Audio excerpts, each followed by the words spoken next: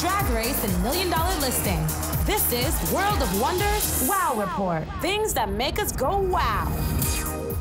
Hello, hello, hello, and welcome to the Wow Report. We're coming to you almost live from Hollywood, California, Hollywood Boulevard, the headquarters of World of Wonder. And it's Tom Campbell, Chief Creative Officer. I'm here. He's in control now. I am in control. I'm kind of power power hungry because Fenton is here. He's back. Yay! I can't talk. But he has a cold, so we're going to do perhaps the first radio broadcast where you can't hear one of the participants. I can't talk. We're gonna make you sing 99 bottles of beer on the wall and see how far you get. So James, St. James, uh, club kid turned best-selling author, is here. Welcome to my voice. So we're going to speak doubly as loud. No, I promise we won't. Um, as we do what we do every week, which is count down the top 10 things that make us go, wow. So, because every syllable is precious, a precious commodity, Fenton, we're going to jump right into it, shall we? Starting with number 10. Number 10. Guys, have you, we have not talked about, I believe, on the show, the marvelous Mrs. Maisel. It's so weird because I feel we have, but we actually haven't. We It's haven't. Been like, you, you, s- have you seen it at all? You saw I one saw episode. the pilot episode. Yeah. And?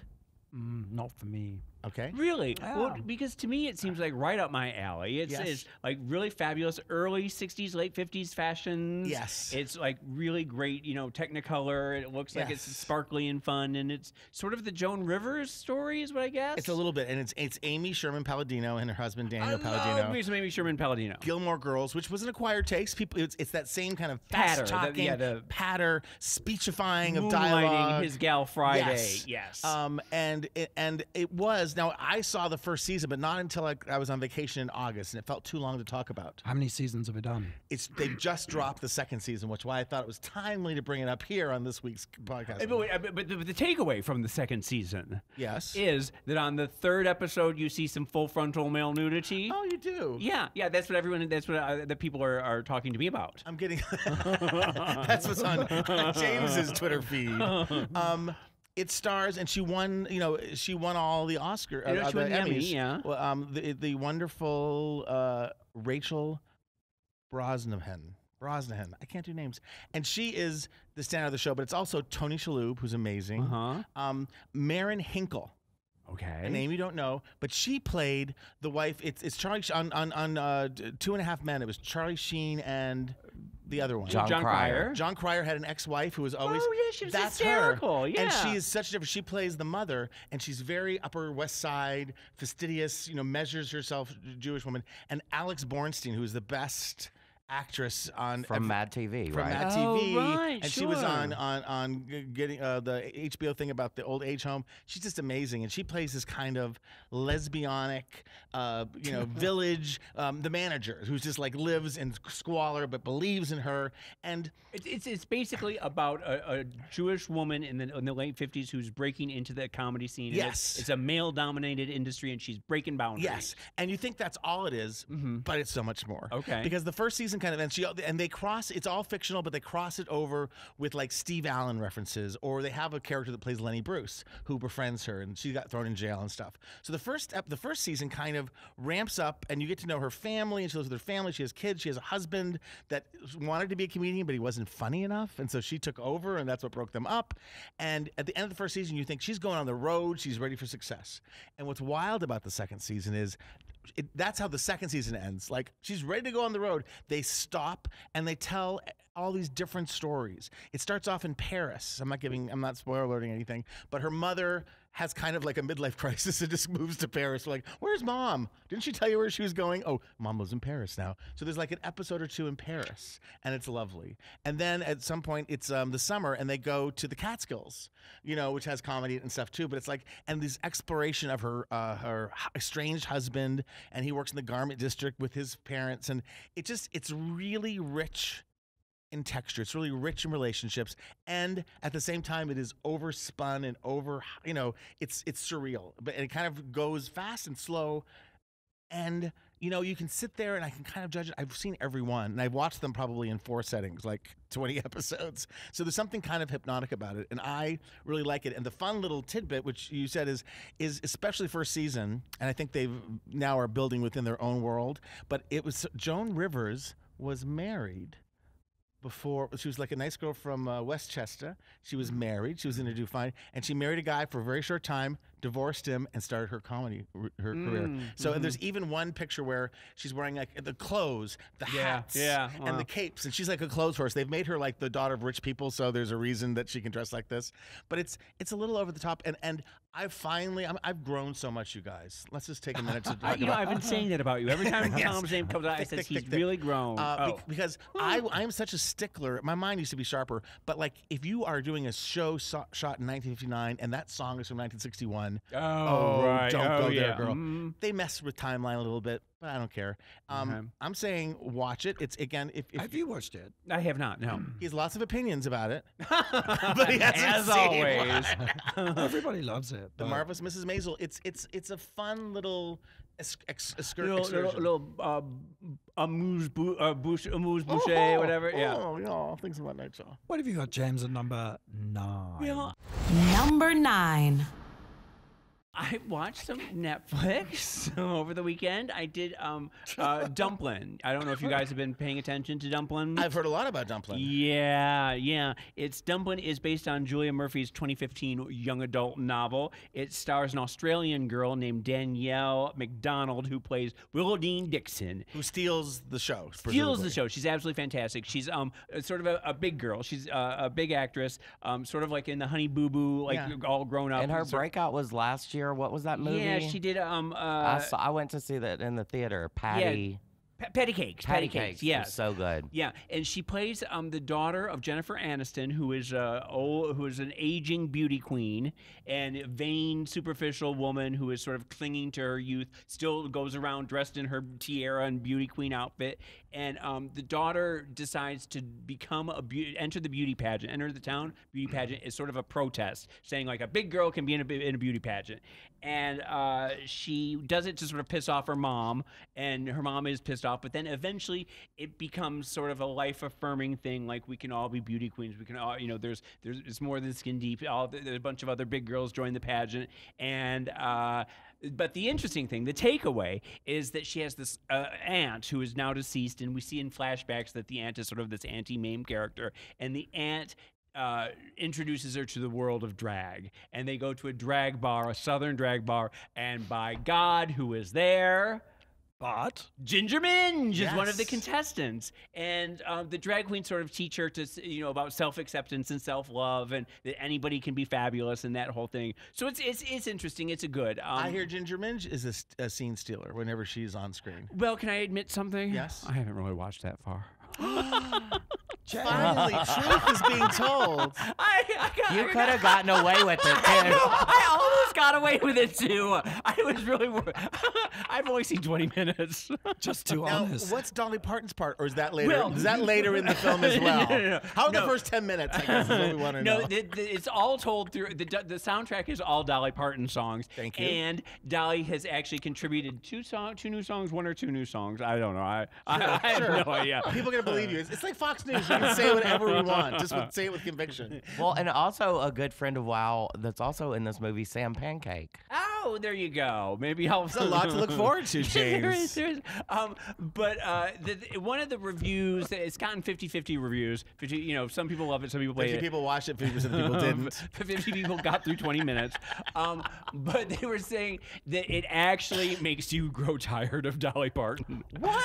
Like, it's heresy, but it's true. That by the end, you're like, please, no more Dolly, Well, no more I guess in Dolly. your case, just 20 minutes. did you did you stop because you fell asleep? Were you bored, or were you just busy? Um, I. Did the did the radio show begin? You were just like watching, cramming it in. I like literally started it at 3:35 this afternoon. Uh, no, I am. I'm going to go back and finish it tonight. But um, uh, yeah. If you're looking for reviews from people that haven't watched the shows, come here to the Wow Report. All right, now we count down to something I hope Fenton has seen or read or perused or thought about a little bit at number eight. Fenton. Number eight. You know, I actually have watched this. Um, it's like a 10 hour series on HBO, and I'm on hour seven. So I've got three more hours to go. Okay, truth, But tr- it- it's like- transparency. it's thank you. binge-worthy. It's called Succession, and basically, it's the story of the Murdochs, but in a sort of minimally fictionalized version. So basically, what happens is old patriarch of massive media company. In fact, it begins in total darkness, and it's like, where the fuck I, am I? I'm really turned on by this, by your voice. I'm just loving this. It's quite good for this. And he's Uh-huh. staggering around in the dark. You can't see anything, and then you hear, pss, pss, pss, and he's peeing on the floor.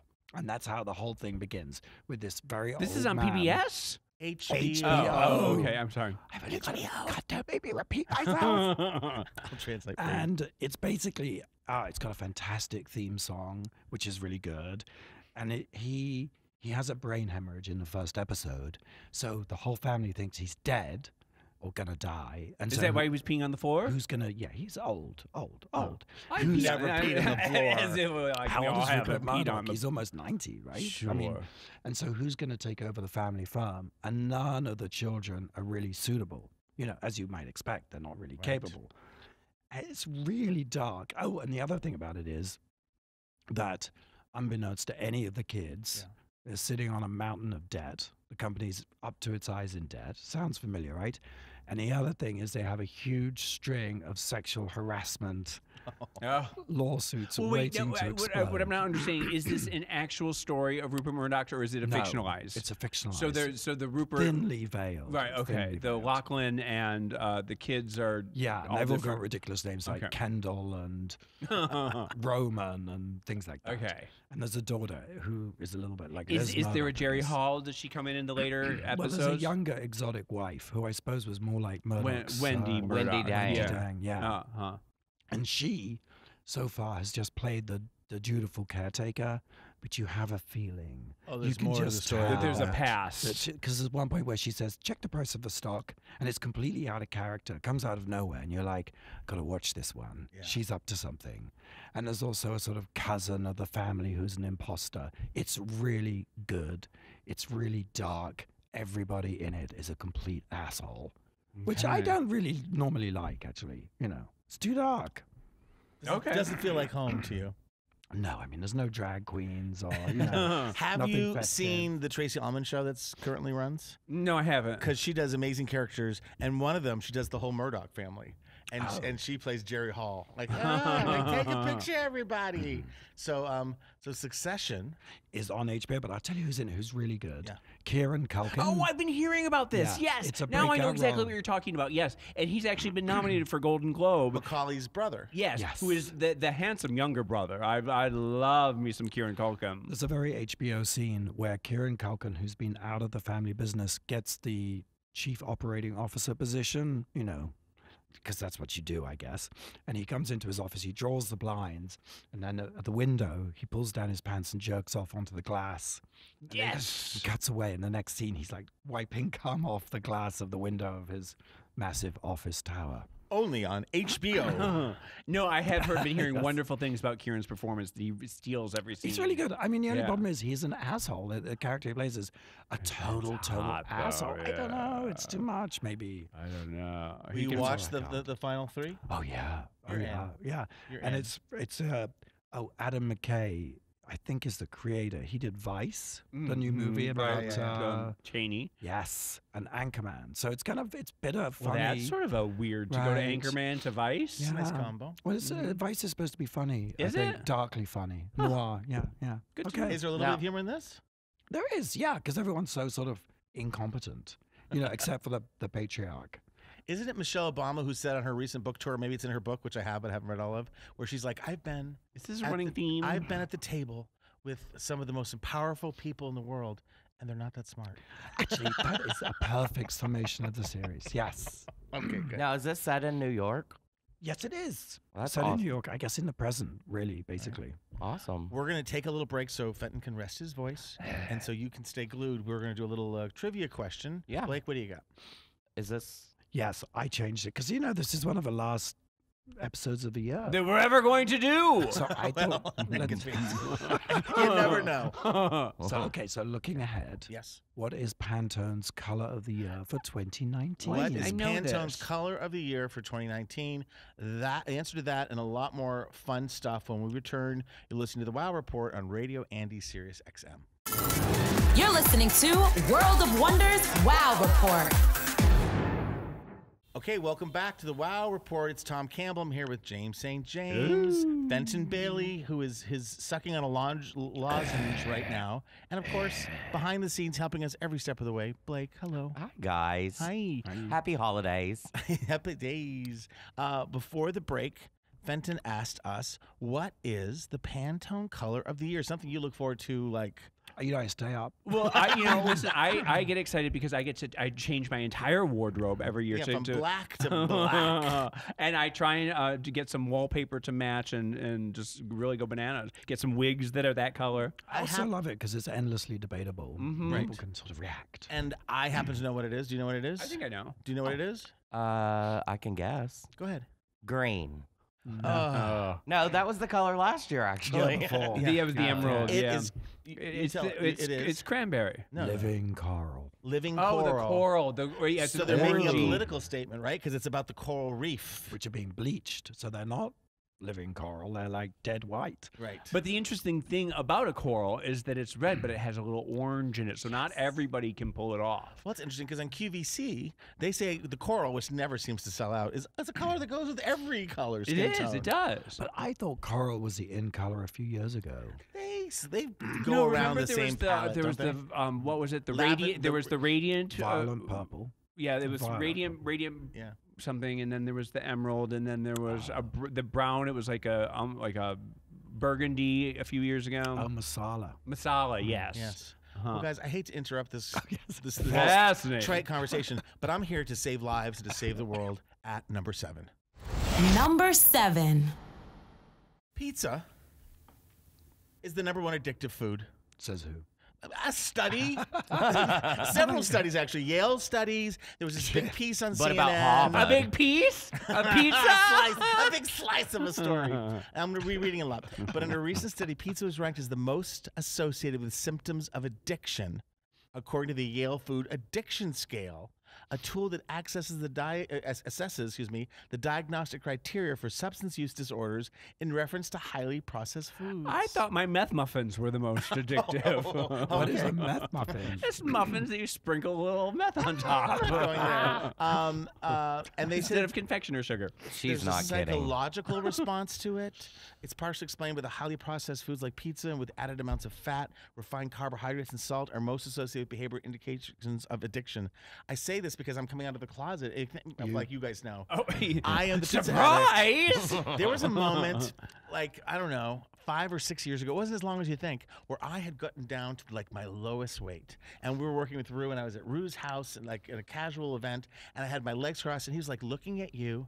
It's like when I met you in the '90s, and that was Thanksgiving, and I went home and ordered a pizza, and I've been gaining weight since. All it you takes just is that. You just can't take a compliment, all can it- you? it's, it's just it's that one like you made it. Like yeah, okay, you thought you finally made I it. I was thin for a day. Um, um, it supposedly has the perfect combination of ingredients that cr- it's called the holy trinity of crust, cheese, and sauce.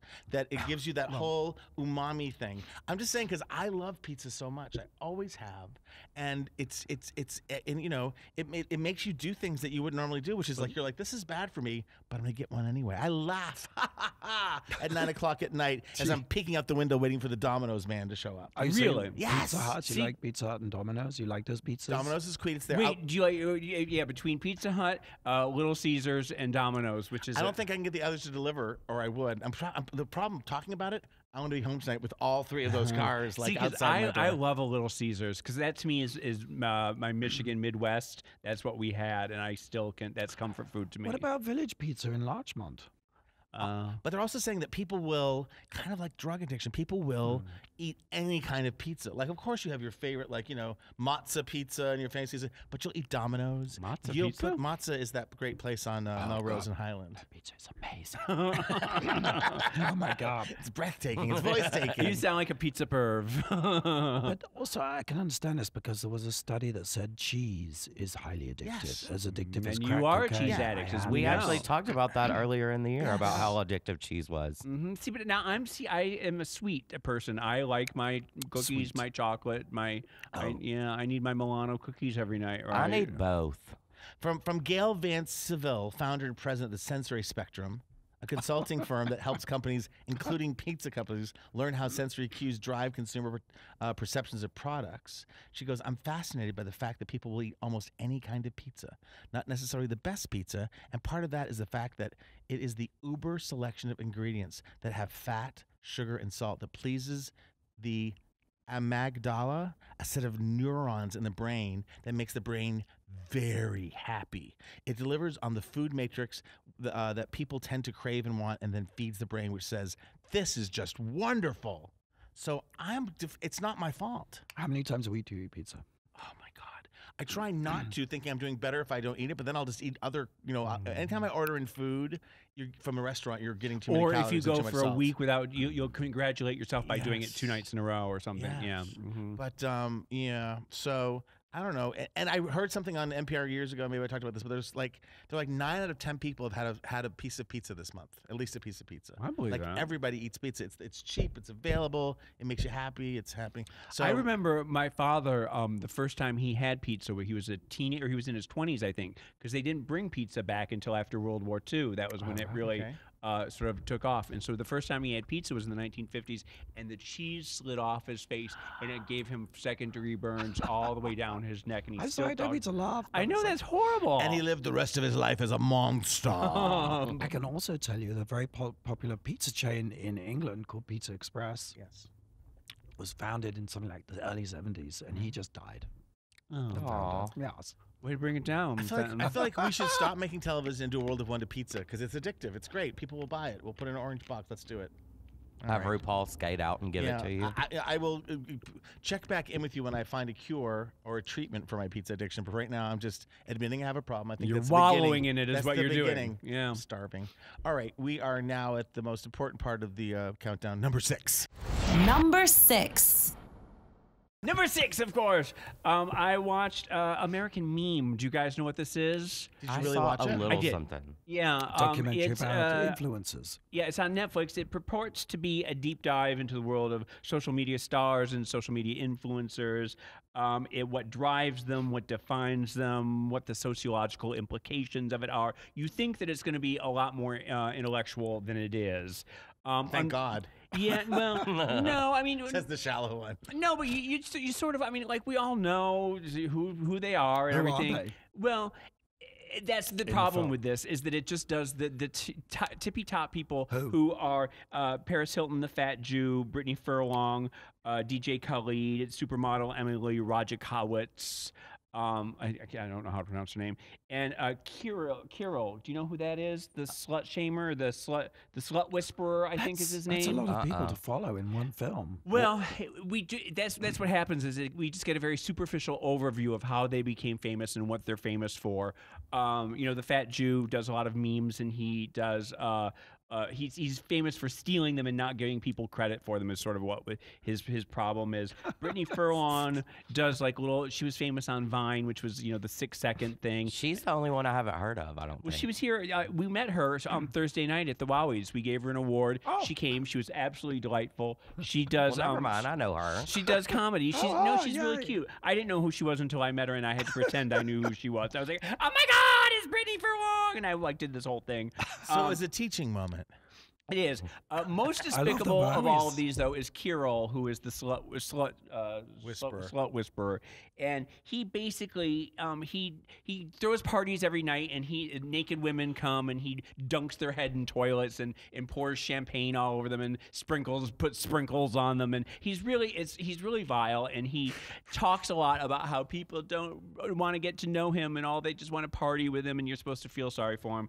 It, um, How can that even be someone in 2018? well, that's just it. Like the fact that he still exists is is very weird. But he does have a following, like sort of like Girls Gone Wild, uh, the Bros. It's like he love that traveled from the Dan year Bilzerian. 2005. Exactly. Yeah. Um, basically, the takeaway is um, that. Uh, y- we all want validation, and the fans give it to you, and blah blah blah. And we're, you know, Paris Hilton wants us to all feel sorry for her because her life is just she's not she's, great. she's been doing the same thing since she was 20 years old, and she's now 37 or however old, and she you sort of. What I- living I, her wanted best more life. from this series than I got. I th- oh, it's a series. No, no, I mean it was just, it's just It's a a one-off. one-off. I'm sorry. Yeah, I, I I wanted more from this than I got. Are some on the ascent and some on the decline? I mean, I Um, guess Paris. I, I just assume Paris is on the decline. No, no, that, that's the thing is that these people all look up to Paris as a goddess and they all Pioneer. aspire to be her. And she still is. She's at, you know, 300 million followers and this and. Internationally, I think she's super hot. Yeah, but you don't discount the fact that there are 14 year old girls who still look to Paris as uh, as an I idol. would be surprised even I who is. do. Oh, Yeah. there you have it. I mean, the whole thing. The, the, like I said, I wanted it to be more of a deep dive into what it is that that that makes someone a social media star and how it is to become a social media star. And instead, we just got DJ Khaled walking around. Why don't you jot down podcast ideas for James St. James explores social media stars? Take note of that. I see a future for you. Okay. I still can't Give it understand penny. It's free. DJ Khaled. I don't understand DJ Khaled either. just I don't. don't I don't get it. understand a lot of these people. I don't understand the Fat Jew. I don't understand. I don't think we're supposed to. Is, is it because we're old? Is that what it is? A little tiny bit. Do you understand? Not really. Okay. uh-uh.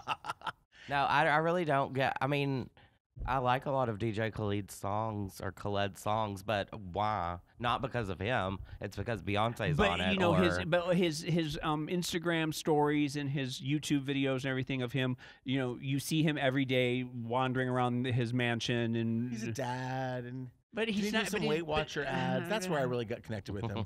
we both love pizza. I don't find I don't find him compelling.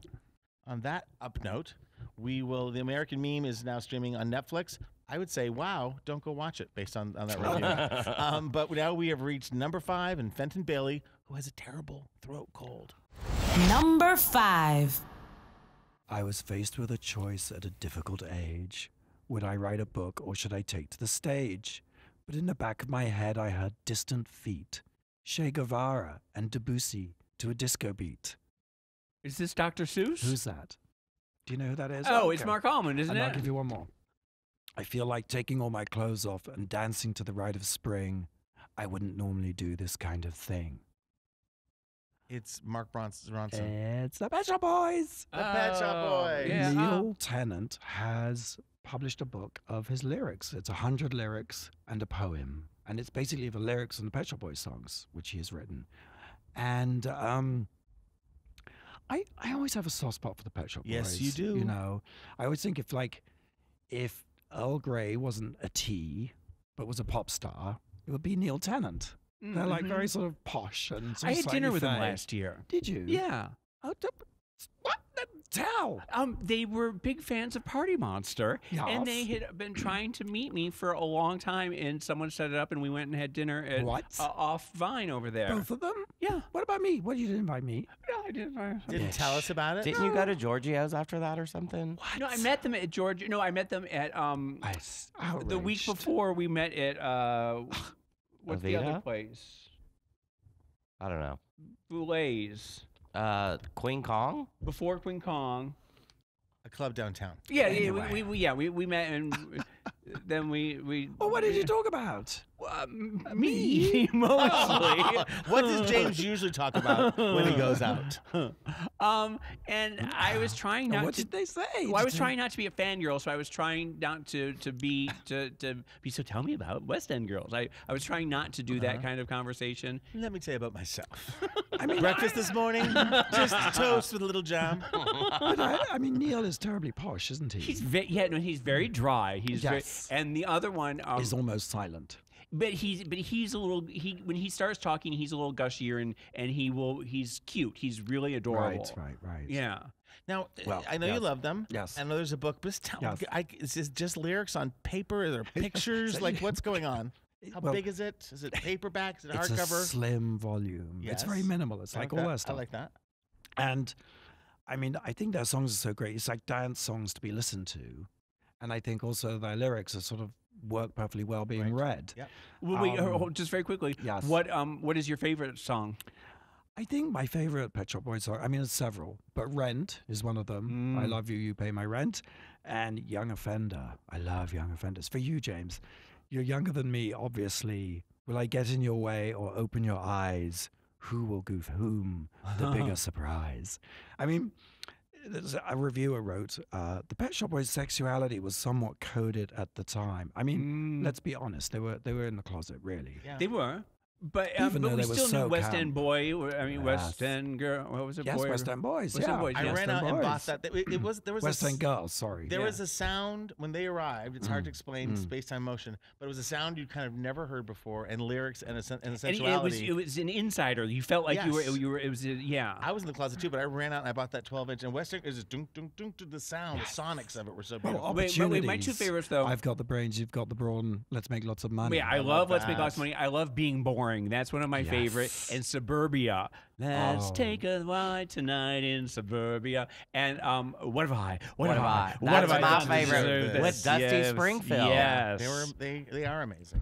I Mhm. think my favorite, also the song I listen to every time I get on a plane, it's like, you know, it's become a sort of comfort food ritual, is uh, Love EDC from um, the album Yes. I don't know It's that uh. You need more than the Gerhard Richter hanging on your wall, a chauffeur driven limousine on call to drive your wife and lover to a white tie ball. You need more, you need more, you need more, you need love. That's your life. Well, no, not really. Oh, and they, I know there's a great song on one of their albums. I can't remember which it's called, um, where they, they sort of talk about people who hated them, and and I love this. You have a certain quality which really is unique, expressionless, such irony. Although your voice is weak, it doesn't really matter because the music is so loud. Of course, it's all on tape, but no one will find out. It's fabulous you're still around today. You've both made such a little go a very long way. I love it. That's pretty good, right? And the, there's a poem. Do you want to hear what the poem is? Yes. The poem is Every day it passes by, the day one year on which I'll die.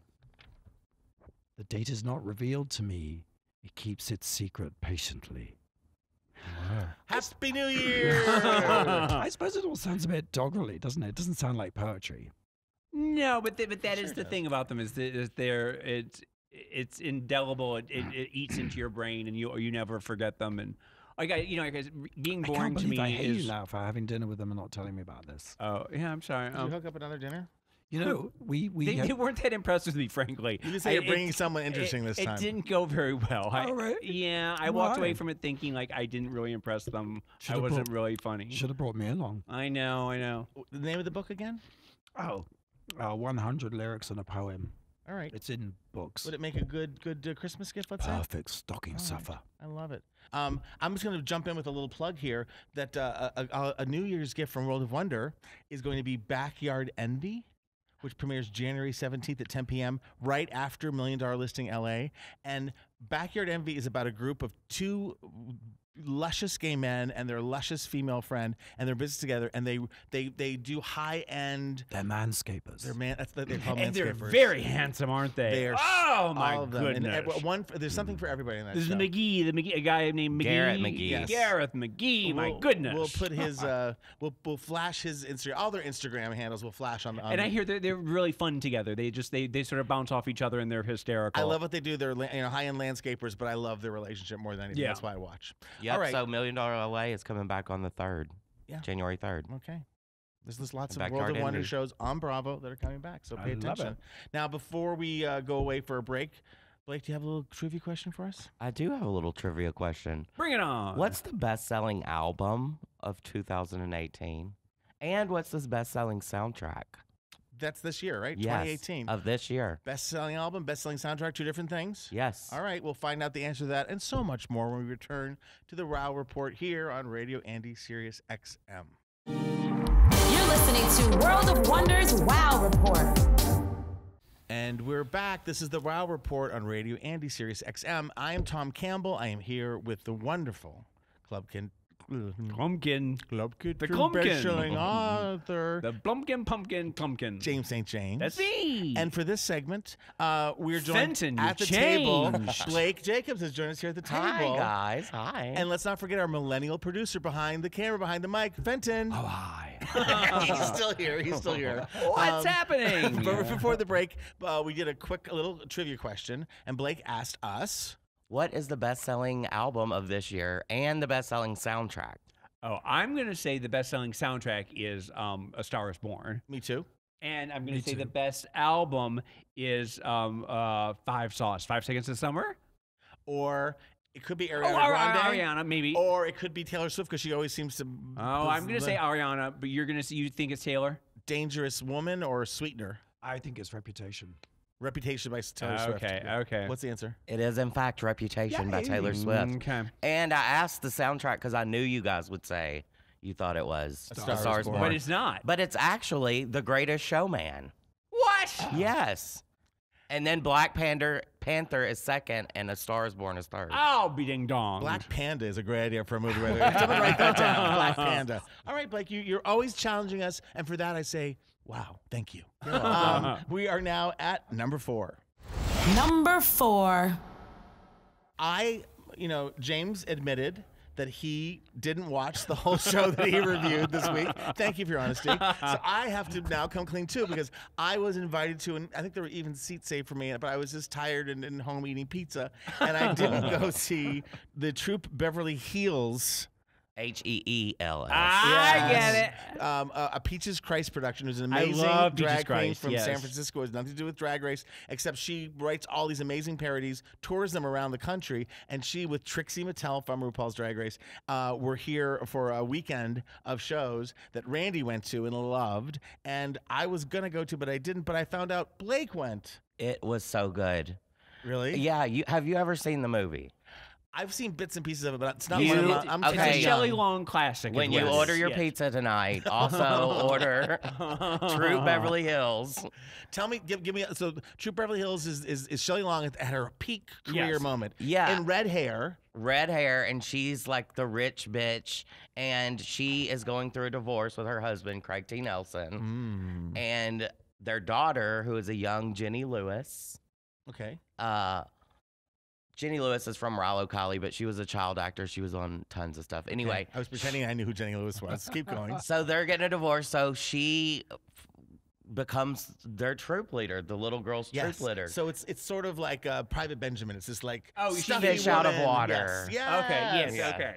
And, but her outfits are so 80s and so like crazy I love that. It's just so good. And, and there, you know, there's really something about Shelley Long at her peak when uh, Outrageous Fortune and all of those movies. I love. super funny, super pretty. Yeah, yeah, it's fantastic. See, this is my Shelley Long movie that I everyone my age remembers Shelley Right. Long as the Phyllis from Troop Beverly Hills, and Rosario is the maid. That's like actually where she got Tori Spelling's first movie Right, of a young time. brown-haired pre-braces Tori Spelling. right? Carly Gug- Carla Gugino, Oh, yeah, uh-huh, her sure. first movie of all time.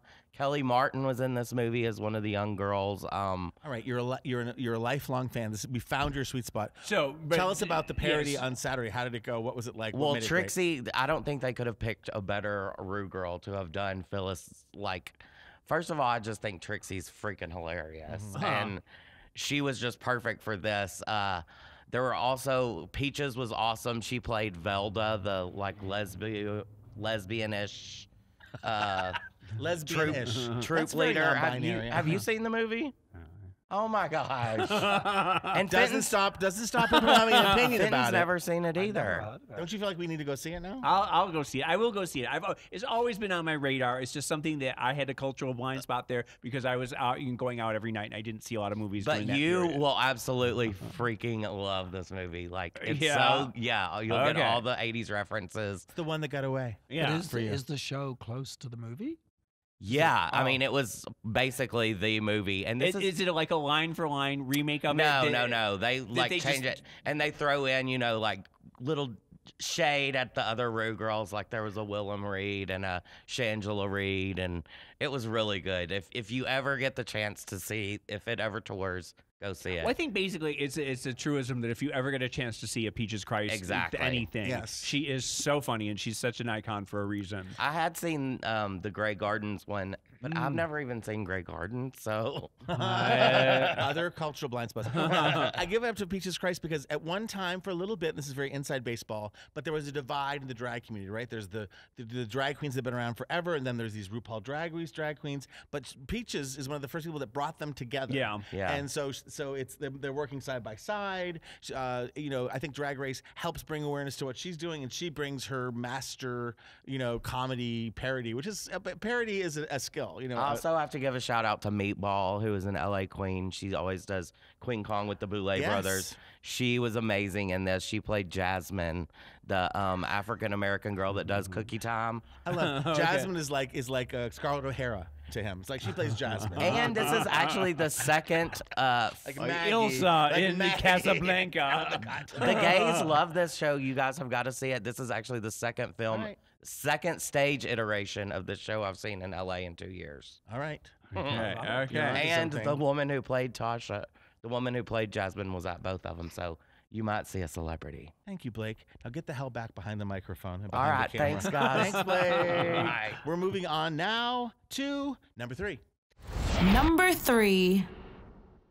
Number three, uh, there was an announcement made over the weekend that fascinated me. What's that? Um, uh, Faye Dunaway will be no, no, I thought it was gonna be governmental. I'm sorry. no, no, no, no, no, no. Donald this, Trump. this is equally groundbreaking. This is fantastic. This is to talk about your camp classics, right? Okay. Faye Dunaway will be returning to Broadway for the first time in 37 years. What was rush? Her, uh, she will, be, and she'll be playing Katherine Hepburn in a play called uh, Tea at Five. Okay. Right now, and you start to think to yourself, well, I mean, first of all, does What's Tea at Five? well, I'm glad you asked because it was based on a play from 2002 that Kate Mulgrew played Katherine Hepburn. Kate Okay. Mulgrew, of course, Red in Orange is the New Black, and Captain Janeway from uh, Star Trek. Uh, and Mary Ryan from Ryan's Hope. oh yes, yes, I remember. I'll go back.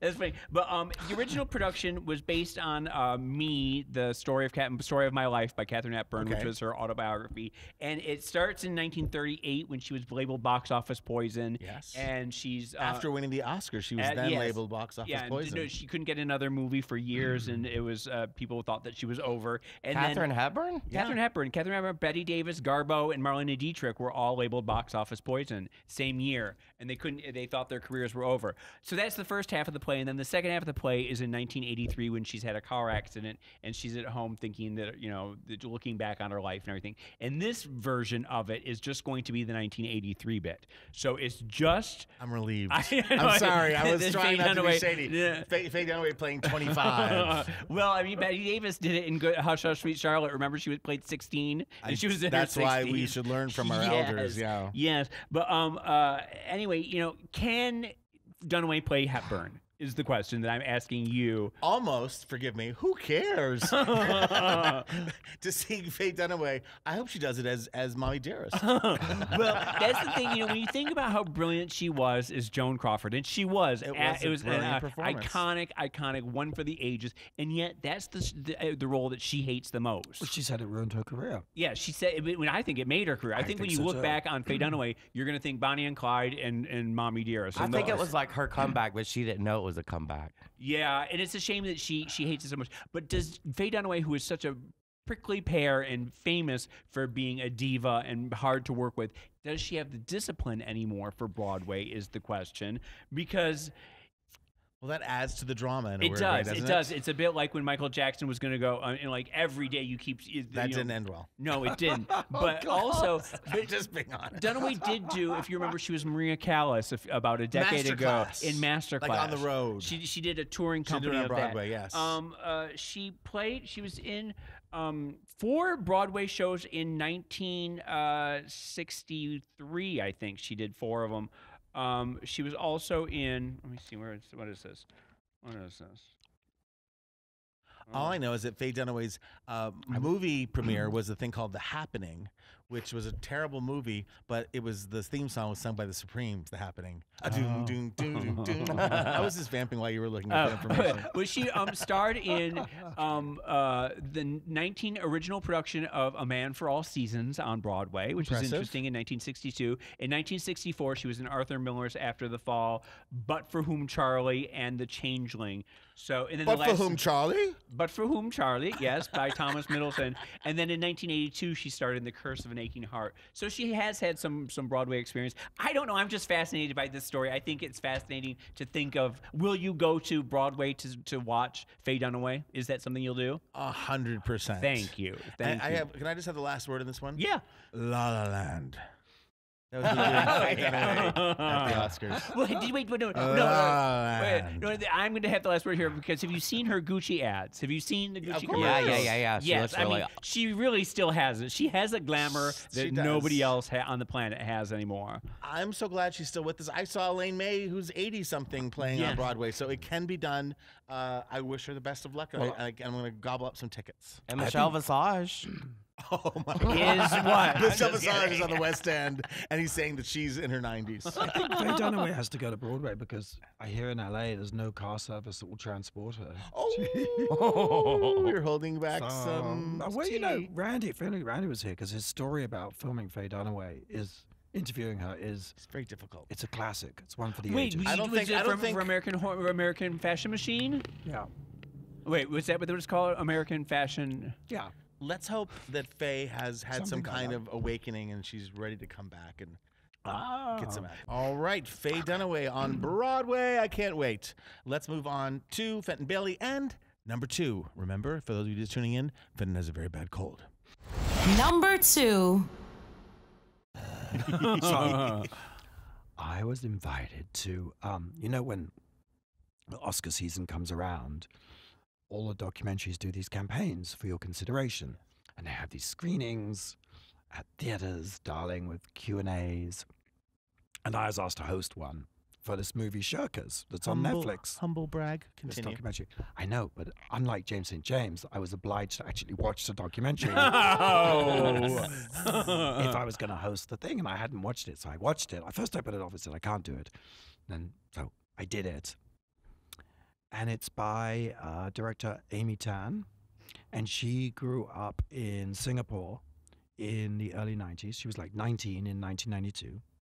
And she was really into punk zines and that whole sort of uh, emo. What, what was that period, James, of the 90s? What do you call it? Um, Uh, grunge, sort of, Oh, Yeah. well, post grunge. There was like Generation a. X. sort of new wave. Yes. Yes. So she was this sort of disaffected youth, and Singapore is a very conservative, straight laced society.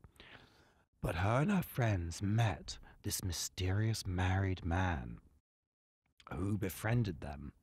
And of course, you immediately start thinking this is going to become some sort of abuse story. And in fact, it is, but it's very unexpected because they decide to make a film, a sort of indie. This is the birth of early indie cinema um, and they make this film. They self-finance this film, and this guy directs it. He's like a, he's like a, a, a sort of um, film school teacher, very charismatic, somewhat creepy, somewhat elusive, and he directs this movie. And Amy Tan wrote it and stars in it, and they scraped all their money together. Where do you think this story's going? I, I have no idea. they scraped all the money together. And then when they'd finished, he disappeared with all the film. They'd lost the entire film. He took it So with they him. financed and helped shoot a movie. They financed and then and he shot just it, left and town. he just took it. Wait, and is do, do we now discover it? Do they do they find it ever, or So do that they recreate it? So that was in 1992. Yeah. And about 10 years later, they get a package in the mail of videotapes.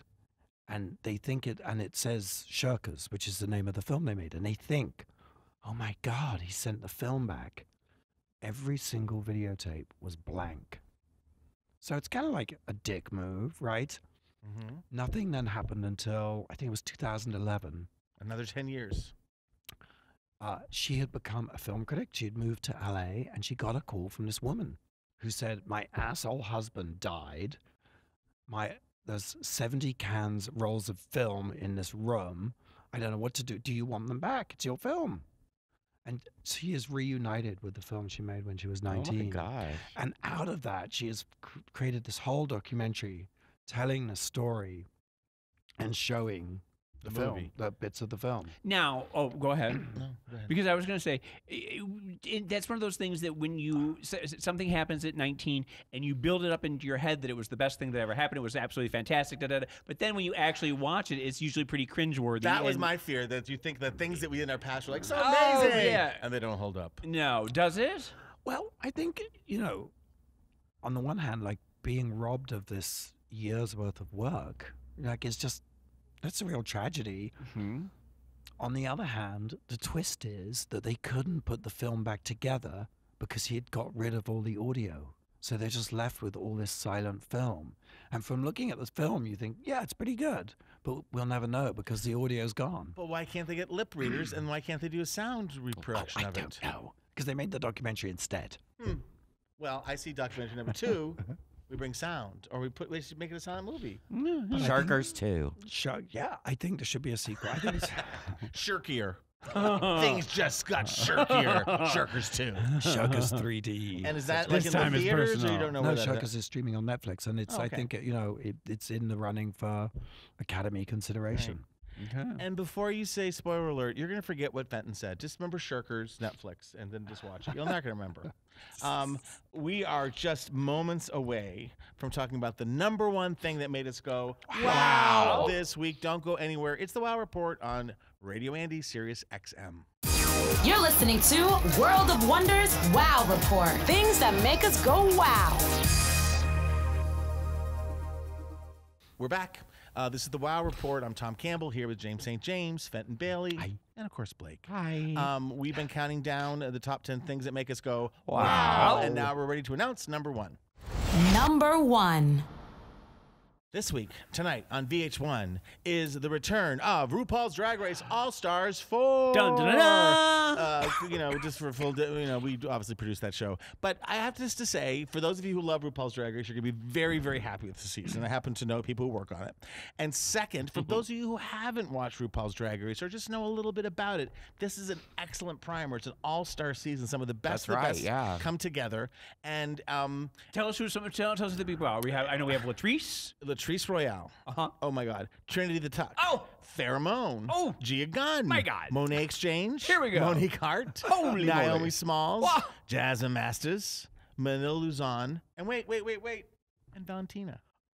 That's an amazing cast. That is a really good cast. And. I don't want you know, it's it's it's for those who don't watch RuPaul's Drag Race, you just think, oh, it's a bunch of bitchy queens. It's actually got heart and soul and and aspiration. But this is a group of outspoken queens, and they are not afraid to let each other have it. Are there some some infighting and some some bitchiness, or is there more of a love fest? Well, for Portland, it's it's more the la- they, they really let it all hang out, which is what it's there for fun. They all do so well. Any queen, we're so proud to produce this show because all the queens on it are performers who, once they have that international platform, can take their art to all different levels. But this is the game show part. This is the fun part where they're competing, and uh, you know, and and and All Stars.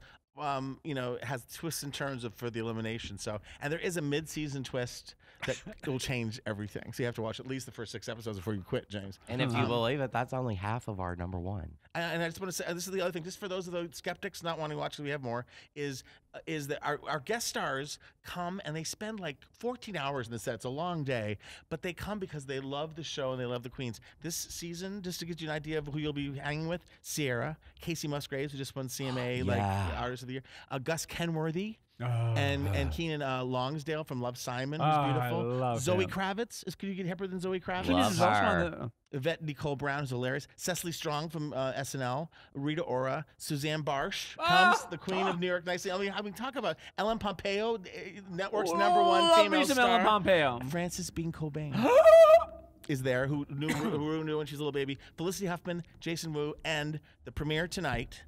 Could not. I, I was very excited when we got her, but I had no idea she'd be as good as she is. Jennifer Lewis. You won't have to go to church Wait, this little weekend. Jenny Lewis from f- Tr- Troop No. Beverly Hills. No, Jennifer Lewis Oh. from Blackish Yes, and, and the who diva, the, the mother of Black Hollywood, yes, Jennifer who Lewis. is also Shangela's. Uh, Yes. Yes. And Jennifer Lewis is you won't have to go to church. She she brings you to church. She's an amazing person. Fenton over here is just about to expire. Um, and the She other, was amazing at the Emmys, wasn't she? yes, she was. She wore the, I the actually went to a Yeah. book reading that, that she went to, and she came in, and there was about five people in the audience, and she put on a Broadway show, and she sang, and she danced, and she talked, and she raised the roof, and by the end, everyone was crying and hugging each other. It was absolutely fantastic. That's what's happening tonight Yeah. on RuPaul's Yeah, Drag she's Race All. Stars 4 on VH1 at 8 o'clock. Watch it, DVR it. Go to any gay bar, any place in the United States, and they'll be watching it too.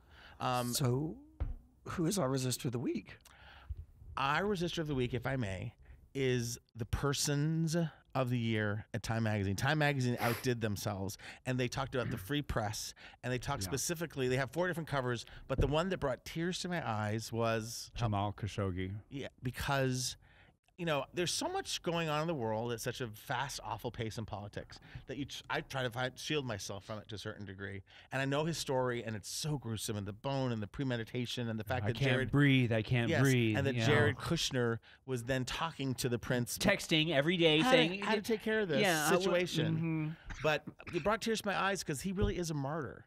He was uh, someone who was who was uh, killed and disposed of because of the power of free speech and his desire to exercise it. Well, I, I tend to think of him as the Archduke Ferdinand of, of our time, where he, I think he is the beginning of a long chain of dominoes that is Yeah. going to culminate in something it's bad. really unbelievable. and there are Yeah. other stories and other journalists from around the world that they Oh. also feature. There's So four different all journal- covers. yeah, and but they- that's the one that struck me as as it just it just reminded me of of the brutality in this world and how I know brutality's been going on since the Old Testament, since the beginning of time. Well, but yeah. our, our desire to, to, to let it But you- but you think that we've- be we've okay, grown and we've- we've or that changed and we haven't. Try to rise above. it. yeah. Anyway. Yeah. Happy, happy. oh, I'm acting like it's over. So that's what we have. We've done it. We've completed a show. Uh, Fenton's voice. Fenton will be back next week, and hopefully his voice will be back too. And if we're lucky, James will lose his voice. Just kidding. Blake, thank you as always. Thank you, thank you guys. Um, Thank you, guys. We're always happy to do this. Thank you, Andy. Happy holidays, everyone. Take a moment before we see you again. Take a little time to enjoy the view and do something that makes the world go. Oh. wow. Bye.